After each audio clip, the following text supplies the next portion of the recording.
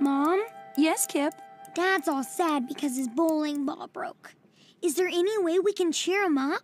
Well, you know what? I've been trying to think of a Father's Day gift for your dad.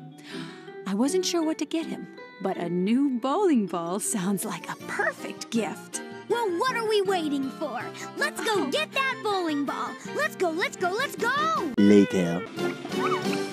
Hey, Dad, we brought you something. You did? We got you a present for Father's Day, and we're here to deliver it. Just like a truck driver delivers things to a store. Happy Father's Day, dear. Mwah! Wow! A brand new X57 Strike King! Mwah! Thanks, everyone. Delivering this ball to me really cheered me up. You're my very own. Higglytown Heroes! We're glad you like your new bowling ball, Mr. Kip's dad, because we know someone who wants to play with you. Who's that? Pizza Guy is ready to rock and